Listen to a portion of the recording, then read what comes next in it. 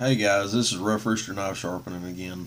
Um, one thing I've had uh, a lot of people ask me about here lately, um, especially about freehanding, and one of the most common questions that I get is how I know what angle that I'm using. Um, first of all, I don't, I really don't pay attention to angles or anything like that. It's just really the way my hand lays. Um, and and it depends on the thickness of the knife or the tool, chisel, whatever that you're using. Um, the thickness or the thinness. Like if you have a thicker knife like a ESEE 5 or like a BK2, um, you're obviously going to have a, a wider, broader edge, which is going to have a lot more metal behind it and it's going to be stronger. Um, and that goes for a V edge or a Scandi grind, or even if you convex it, you know, there's still going to be metal behind it. Uh, not so much convex, but anyway. Um,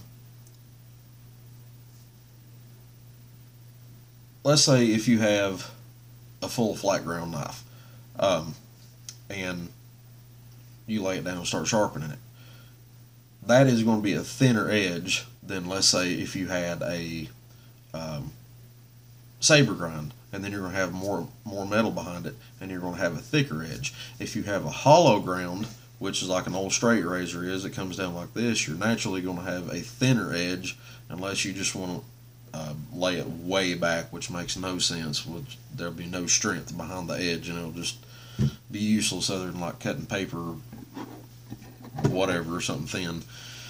But I was going to show you guys a little trick. I've never done it myself um, I've seen it done.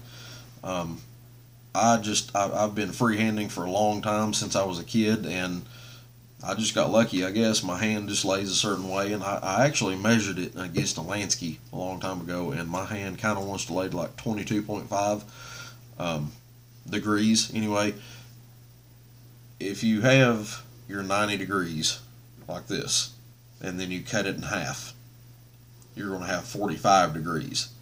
If you cut 45 degrees in half, you're going to have 22.5.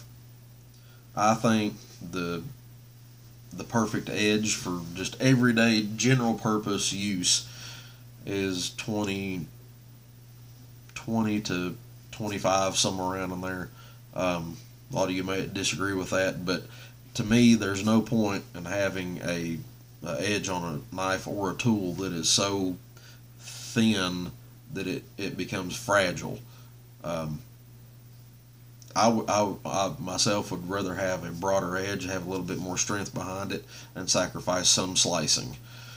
So, uh, without further ado, let me uh, let me show you this little trick that I've learned um, over the years and seen people do, and it and it does work.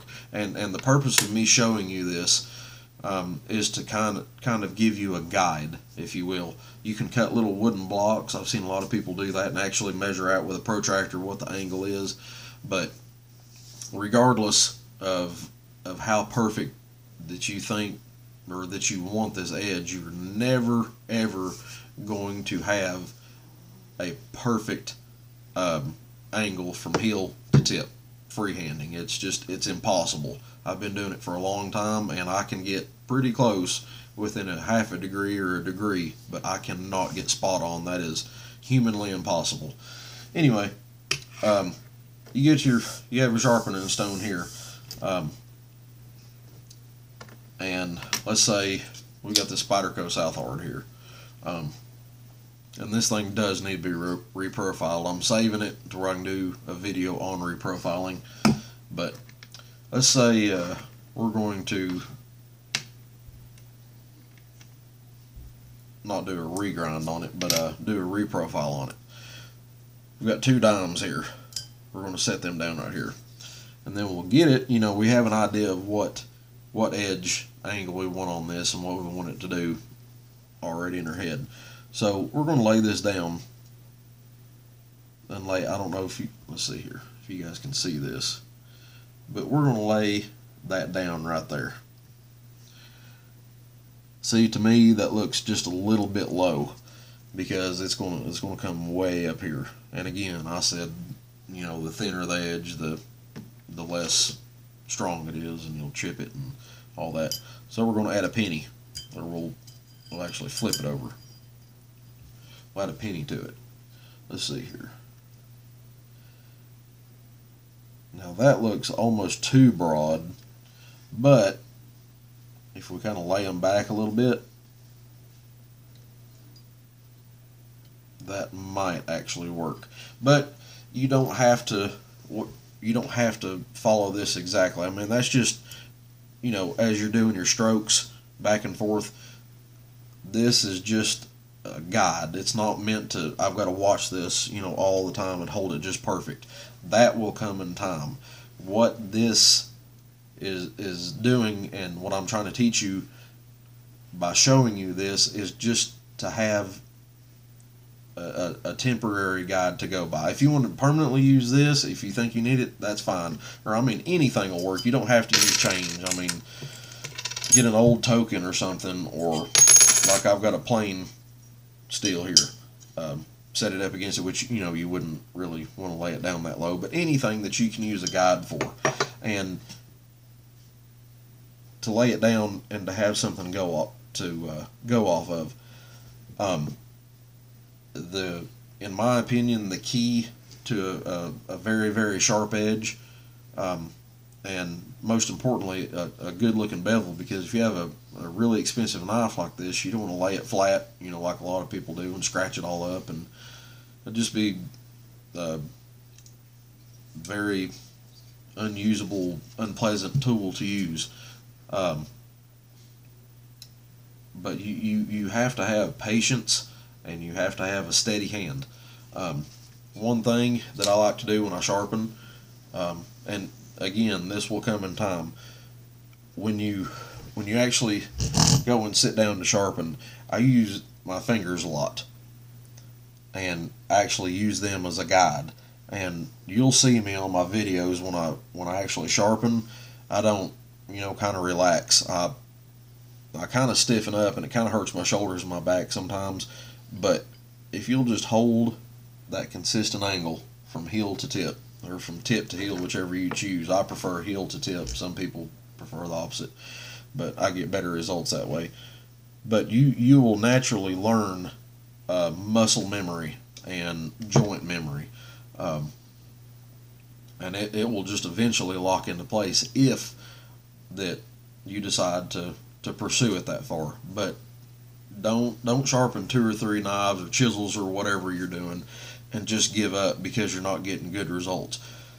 Um, I would go up to the dollar store, or Dollar Tree, or something like that, and get um, just a couple old cheap junk paring knives. And the reason I say cheap junk paring knives is because if you mess them up for one, you're out 50 cents or a dollar and you can toss it in the trash can, which you can repair them if you mess them up that bad, which I hope you don't. Um, and two, it's junk Chinese steel. It's really soft, so you can see what you're doing very easily. Um, and an, another trick that you can do, you can get a a Sharpie just to see your progress. You can get your Sharpie and let's say we're going to color this whole edge right here.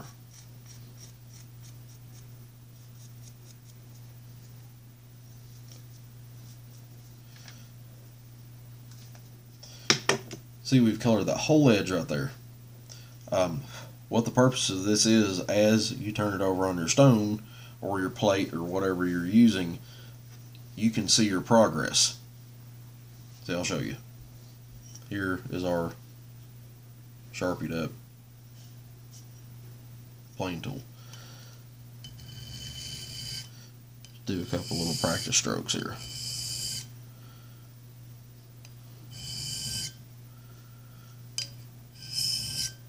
Okay, now you can see where some of that has been removed and some of it hasn't.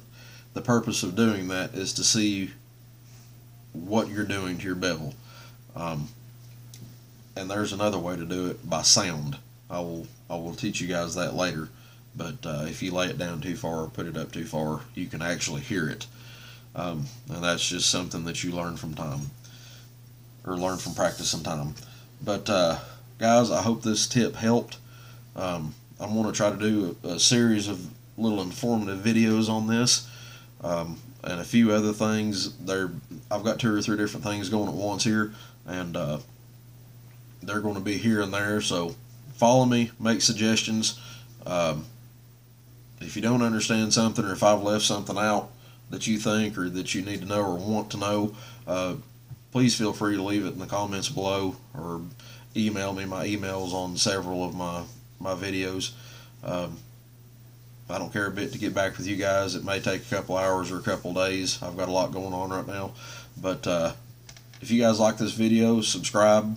Please press the thumbs up if you like it. If not, give me a thumbs down. I hope you don't do it. But uh, you guys take out your knives and tools and try this little trick. Tell me if it helped. If you come across anything else that you think might help for others, put it in the comments below too. Y'all have a good evening. Take her easy.